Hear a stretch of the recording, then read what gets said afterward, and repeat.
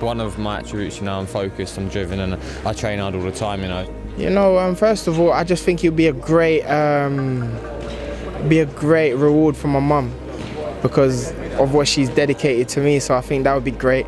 Um, but for myself, it'll be a, a, good way to help change not just my life, uh, but my mum's and my future kids' life. You know what I mean? So it's a life-changing um, experience.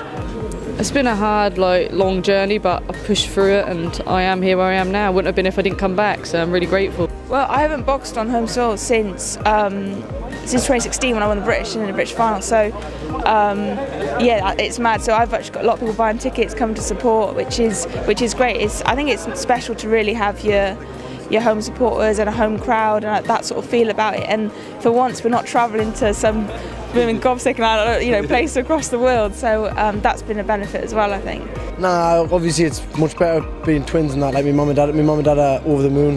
Both of us coming here and uh, chan chances are we're both going to go to the Olympics. So my mum and dad are absolutely buzzing. Yeah, it's unreal. Uh, obviously boxing in London as well. Normally boxing in Russia, Kazakhstan, so it's going to be good to be able to come back to our home country and uh, have the home crowd on your side, throwing punches in the full crowd cheering. It's going to be good. For me, it's that quarter final, winning that quarter final, and then you know booking booking, the, booking myself on to, to, to, the Olympics. It's, um, it's, it's unreal, and it, it, sounds a bit crazy, like even saying it now, but it, it's a realistic goal, and I believe I'm good enough to, to achieve that.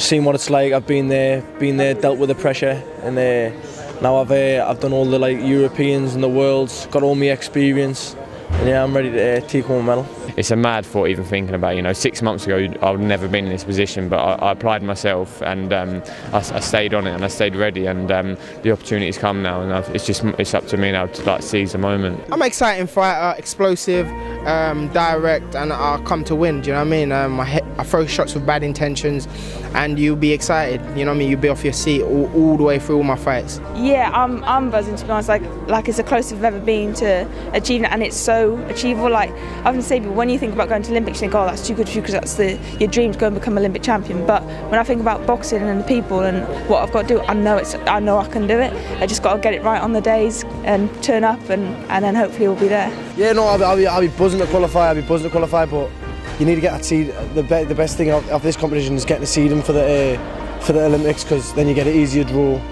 get a uh, better chance of getting the medal. Yeah, well, I remember qualifying for the last Olympics and it was just the best feeling. Best feeling. Obviously, I, I, knew, I knew I was going to qualify, but when you actually do it, it's different. And uh, getting a medal at the Olympics would just change your life. Do you know what? Oh, it's gonna be it's gonna be mad. Like even to qualify and then think you, you're you're going to be going to Tokyo. It's, it's, that's crazy. I still I'm speechless. it's madness. But yeah, that will mean so much to me and my family. That'll be the end product. Like having that gold medal around my neck. I just can't wait for all to happen now.